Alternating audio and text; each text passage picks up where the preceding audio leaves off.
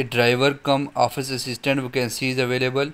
Looking for a driver come office assistant in Dubai. Must have a valid license and have a transferable visa. Must know and speak English.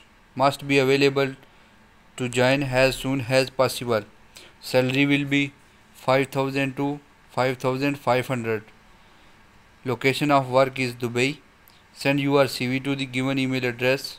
Kindly ignore this post if you are on visit visa.